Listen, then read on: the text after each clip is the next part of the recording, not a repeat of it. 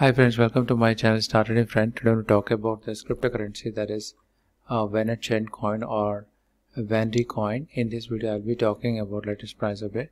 So let's begin. You can see that I'm in the weekly chart and you can see previously the candles were falling continuously and then you can see candles are moving si sideways for some time. So if you draw the trend line you can see this is the uh, support and uh, this is the resistance. Okay so within this uh, channel only the candles were moving.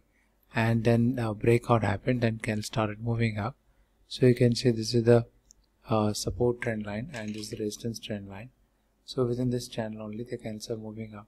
So if you go to the day chart you can see uh, very clearly how these candles are moving. So you can see this is the uh, support uh, trend line and this is the resistance trend line. So within this channel pattern only the candles are uh, falling. So you can see this is the uh, resistance trend line okay?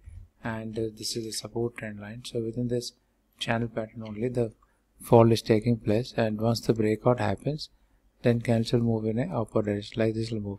So after the breakout the entry price is around 2452 and target is around 4475 and stop loss is around uh, 21968 so in case if it doesn't give breakout then cancel fall further and then from here it may give a breakout.